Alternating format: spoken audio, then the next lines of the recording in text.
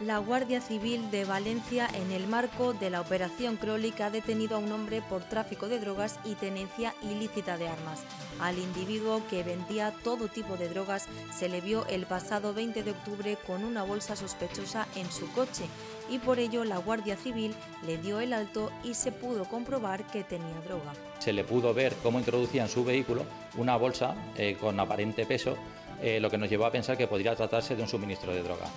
Es por ello que se le sometió a un seguimiento y viendo que se dirigía hacia localidades del sur de la provincia, tales como Gandía, eh, se procedió a darle el alto y hacer una comprobación pertinente de si llevaba o no sustancia estupefaciente, obteniendo eh, que en el vehículo transportaba 2 kilos 300 de cocaína y 1 kilo 200 aproximadamente de hachís. Al acercarse las fiestas de Halloween se intensificó la vigilancia hasta que finalmente fue detenido.